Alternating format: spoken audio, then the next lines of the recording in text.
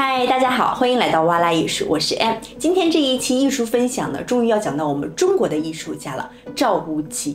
那相信这一位大师的作品呀，很多人都有看到过，在拍卖场上呢也见到过很多过亿成交价格记录的这些名品们。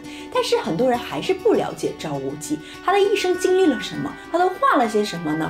今天啊，我们就来好好说一说赵无极的故事。他不只是法籍华裔的一个画家，他的一生非常的精彩。我会通过他人人生的三次婚姻时间线去讲解他的一生，因为他的每一任夫人都能够代表他当时作品的风格。那我们就先从他的出身开始讲起吧。一九二零年，赵无极出生在北京。他出生于赵氏家族，一个源于宋朝的古老世家。赵无极在南通上海北方的小城度过了童年岁月，读完了小学和三年的中学。他的父亲是这座小城里的一位银行家。那他的父亲呢是比较支持他进行画画创作的，反而是他的母亲呀，觉得你的画画好像没有什么前途，倒不如像父亲一样去做一位银行家。赵无极十五岁的时候考进了杭州艺专，也叫做杭州美术学院，那接触到了中国水墨和美术的历史传统。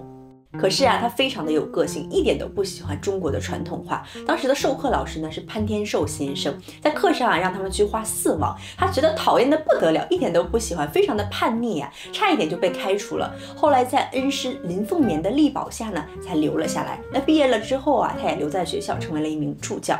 那在杭州艺专的这段期间呢，不只是学习了，同时啊，他也邂逅了人生的第一位妻子谢景兰。两个人呢，郎才女貌，年纪相当，一见钟情。很快啊，两个人就结为了夫妇，在香港注册结婚了。在这个时期，赵无极深受塞尚啊、马蒂斯和毕加索的影响。他从伯父巴黎带回来的明信片上，或者通过他在法国租借书店买的杂志上刊登的复制品，发现了这些作品。那法国驻华大使馆文化专员瓦蒂姆·埃利塞夫呢，在重庆见到了赵无极，强烈的去鼓励他去巴黎发展。一九四八年，赵无极在征得了父亲的同意之后呢，与妻子一起前往法国巴黎，继续他的艺术求学。这一去啊，一待就是五十多年呢。他的整个作品的风格哎，发生了翻天覆地的变化。他日后说，他是在巴黎找到了真正的自我，远离学艺时期所接触到的古典美学，改为研习西方的抽象主义。可是啊，又在一九七零年初回归本源，重拾中国的传统艺术，创作出中西合并的巨作。怎么发生了这么多的转变呢？哎，别急啊，慢慢的听我来说。一九四九年，赵无极开始接触版画艺术。在法国留学初期的赵无极作品啊，都是这样的写实作品。我们可以从画面中看到，慢慢的从写实过渡到写意。这个时候啊，他与第一任妻子谢景兰呢，也慢慢的安顿下来了，结识了很多好的朋友，并且在巴黎呢办了自己的第一场个展。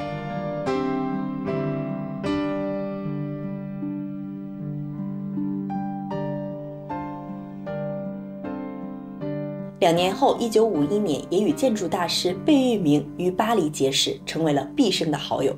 他们两个的感情啊，可以堪比巴菲特跟芒格了，一生的挚友，非常的令人羡慕啊。两个人呢，都是艺术家，又有着相似的背景，一生当中啊，也合作过无数次，为彼此的艺术生涯呢，都增添了一份光彩。比如，在一九八二年，赵无极介绍了法国文化部长给贝聿铭认识，促成了贝聿铭为罗浮宫主庭院设计的玻璃金字塔。一九八六年，法国的画廊在巴黎展出了赵无极有史以来最大的三联画。这幅画是赵无极为了挚友贝聿铭在新加坡的来福士城建筑群所完成的。这幅作品也是赵无极的拍卖记录当中最贵的一幅作品。二零一八年在苏富比香港的拍卖会上呢，以五点一亿港币的天价成交了。它也是香港拍卖会上有史以来卖出去的最贵的一幅作品，也让赵无极成为了亚洲油画第一人。Twenty million, four hundred and fifty million now. Four hundred and fifty million dollars, are you all done then? Sold for four hundred and fifty million dollars. I believe that establishes a new world record for that artist. And indeed a new world record for an oil painting by any Asian artist. 这个时期的赵无极啊，不仅有很多好朋友，他也经常出去旅行。在一次瑞士的旅行当中呢，他看到了保罗·克利的作品。通过他的作品啊，他看到了绘画的另外一种方式。那这种方式呢，也引领赵无极走向了抽象。一九五三年，他的绘画风格发生了变化，静物和花朵不再存在，他更倾向于一种想象、难以理解的创作。他把中国传统的书画笔法与西方的抽象主义合而为一。一九五四年，赵无极创作出第一幅抽象作品《风》。这幅作品目前在蓬皮杜中心收藏。这幅作品跟风啊其实是毫无关系的。他想要把我们人们看不见的一种东西，像风啊这种东西，我们只能够用心感受的，他用一种特别的新的表达方式呢，去把它描绘出来。在他画风转变为抽象的过程当中啊，他的婚姻生活、感情生活呢也受到了冲击。他的妻子谢景兰呢在法国认识了新欢，那两个人的感情呢也因此而破裂。在这种重重的打击情况下呢，他也选择了用酒精去逃避。离婚后，赵无极的风格开始逐渐的变化，从具象场景到半抽象，再转变为全抽象。我们可以从这几幅作品当中能够看到，符号逐渐的消失，整个画面是自由的笔触和大片的颜色去替代之前的符号啊，还有具象的一些场景。那色彩的厚度啊，也从稀薄变成浓厚，色调呢，也从含蓄的水墨丹青感转变成了强烈又愤怒的黑与红。这段时期啊，是赵无极风格形成的重要萌芽期，也称之为甲骨文时期。通过创作表达对生活的呐喊。一九五七年，赵无极与皮耶苏拉奇同赴纽约，他在当地深受抽象表现主义画家弗朗兹·克莱恩、菲利普·加斯顿和阿道夫·哥特列布的作品启发。赵无极从纽约归来之后啊，开始使用大的。画布去进行创作，并发展出非常大胆的个人风格，开启了长达十三年的狂草时期。在此期间，赵无极画出多幅摄人心魄的甲骨文抽象大作。在他看来啊，美国的绘画，尤其是纽约学派的画风呢，比欧洲啊更加的有自发性，更加原生态。赵无极啊，从刚开始受困于中国人的身份，到将中国的符号画入到画作当中。当你凝视甲骨文作品的时候呢，每一个符号都化身成为完美的自然界物质，是对自然最原始、最灵性的表达。这就是他一直在寻找的灵感。我们可以通过这幅作品《红黎明前的黑暗期》甲骨文时期的作品呢，看到赵无极在黑与红强烈冲突中寻找救赎。心灵上啊，我们也能够深深的感受到初恋这段感情带给他的伤害。那过了这一段黑暗的时期呢，人生终究能迎来曙光。他呀，也遇到了第二份感情，也将他从痛苦啊、颓废的当中呢抽离出来。一九五八年啊，赵无极去香港散心，待了半年的时间啊，认识了自己的第二任妻子影星陈美琪。但是有了新的爱情之后呢，他的画风啊，作品的风格也展现出来完全不同的姿态，融合了西方跟东方的艺术。他用油画质地将中国水墨画的意境扩大放大，同时啊，弱化跟虚化了线条，让油画表达出来东方式的朦胧感跟神秘感。同时啊，一九五八年，赵无极在创作完《云》这一幅作品之后呢，他就不再为作品命名了，而是在画布背面写上创作的日期。这一点啊，真的是非常的重要，因为他不想要让读者啊、观众啊去自己瞎猜，产生对标题的一些联想，而是去关注作品的本身。那这一个行为呢，也是他人生艺术创作当中最重要的一个里程碑。这幅作品的名称和日期为二四点零六点五九，就是一九五九年六月二十四日嘛。灰白色的笔触看似在画布上舞动，柔和着传统的书法的动感啊和抽象化的构图，见证它由早期甲骨文风格到一九六零年代活力风格的过渡阶段。此时他的作品啊是个聚的状态，在我们视觉的中心啊能够看到是有一股力量冲突矛盾聚集在一起的。那这个六十年代啊也是他的一个黄金时期，这个时期的作品呀在拍卖市场上可是供不应求。那是因为他当时的家庭啊带给他的这种幸福跟欢乐，让他有得以创作出来这么多精美的作品。那可是呢命运又是很弄人的呀。他的第二任妻子呢，由于患有家族遗传式的精神病呢，在一九七二年的时候服食安眠药自杀了。一九七三年，陈美琴在去世后的一年啊，赵无极画了这幅作品，还是我们俩。依稀我们可以看到两根根茎相连的大树啊，倒卧在冰河里，深情无限，又非常的凄楚。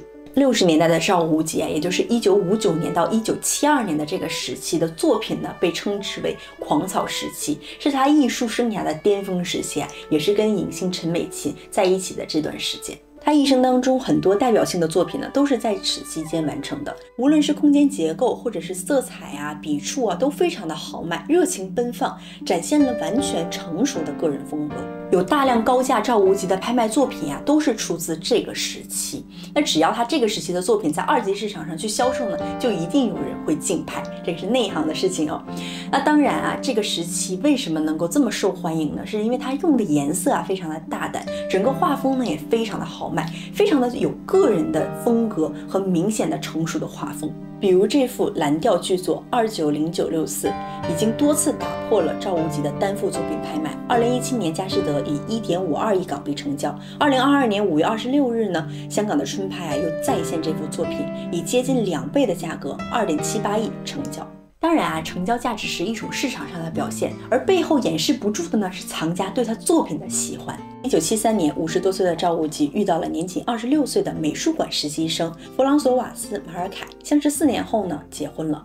很多人都很好奇啊，怎么找了个法国女孩呢？赵无极啊也曾解释过，说很多人来到法国卢浮宫呢，都需要赵无极去解释这些作品画的是什么。只有这个女孩呢，她会讲给赵无极听。反过来了，那赵无极肯定会觉得她很有趣嘛。两个人都对艺术有了自己的见解，慢慢的情愫也就产生了。这个是很正常的一件事情。我个人呢也觉得。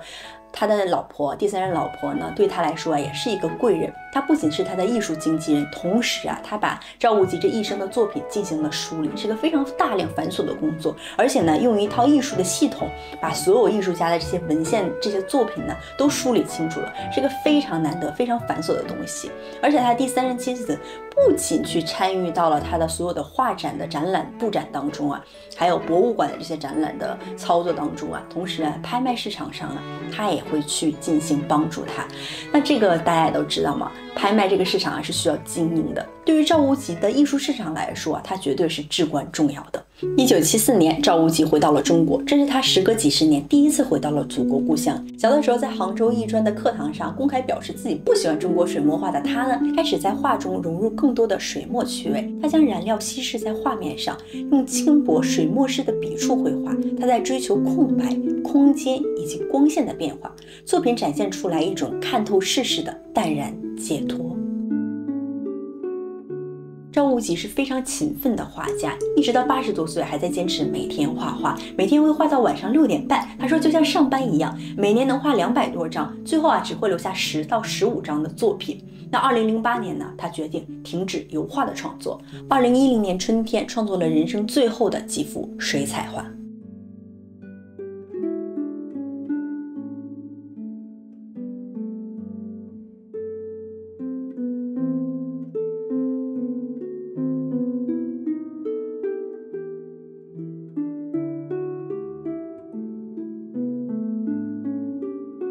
晚年的赵无极患有阿尔兹海默症，俗称老年痴呆。在这最后的岁月，他一直待在瑞士，一直到二零一三年四月九号离世，享受九十三岁。赵无极过世后，他的作品都交由赵无极基金会去打理，主理人呢正是他的第三任妻子，用自己的方式去守护他的作品。那赵无极呀，在生前的时候呢，就已经是家喻户晓的大师了。那在他离世之后呢，二零一三年之后啊，他的作品价格啊也是更是直线的上升，很多狂潮时期大尺幅的作品啊也都以破亿元的天价成交了。在亚洲市场开始腾飞时，赵无极就成了收藏家优先考虑的对象之一，因为他在欧洲和美国有大量的藏家，而且博物馆啊也收藏了很多他的作品，所以啊他非常受到大众的追捧。赵无极一生办来一千六百多场展览，作品目前列入一百五十多个收藏系列和二十个国家展出。好啦，今天的艺术分享呢，就给大家介绍到这里。我用了他三段婚姻呢，去贯穿了他一生的故事。每一段婚姻啊，都代表了他每一个时期不同的画风。每一个作品呢，都能够展现出来他当下内心的真实感受。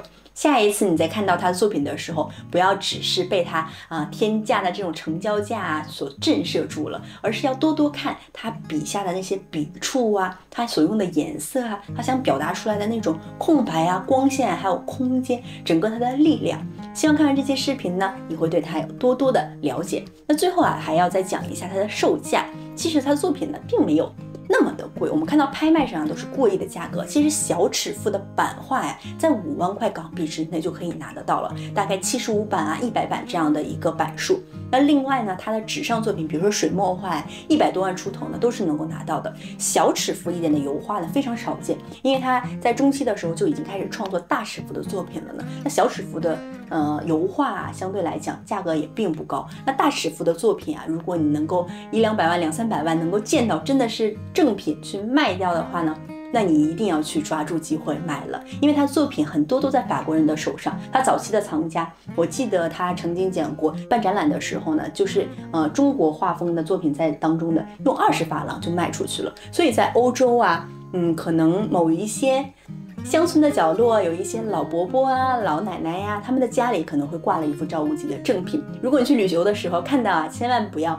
犹豫一定要确认好是真品之后就买下来。我希望我在旅游的时候啊也能遇到这样的好机会。不过对于很欣赏他作品的朋友呢，我真的建议他的版画呢是可以买的，放在家里呀都非常的漂亮，可以去装饰你的家里一些中式的中国家庭的这种风格。你在家里你花了几百万去装修，然后或者几十万去装修，然后你没有一幅。啊，像样的作品没有一幅这种充满力量的名师的作品，其实真的是挺可惜也挺土的。好啦，那今天就给大家介绍到这里，下期视频我继续给大家做艺术分享哦，拜拜。